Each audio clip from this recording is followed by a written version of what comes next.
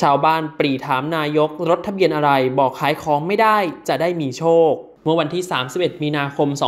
2565 ที่คลองโอ่งอ่าง ถนนจักรวรรดิแขวงจักรวรรดิเขตสัมพันธวงศ์กรุงเทพมหานคร ผู้สื่อข่าวได้มีการรายงานว่าสำหรับการลงพื้นที่ของพลเอกประยุทธ์จันทร์โอชานายกรัฐมนตรี และรัฐมนตรีว่าการกระทรวงกลาโหม ครั้งนี้เป็นครั้งที่ 2 ในช่วงเวลา 1 สัปดาห์ หลังจากที่ก่อนหน้านี้ได้มีการลงพื้นที่บริเวณสะพานขาว เมื่อวันที่ 29 มีนาคม โดยไม่ได้มีการแจ้งวาระงานให้กับสื่อมวลชนทราบแต่อย่างใด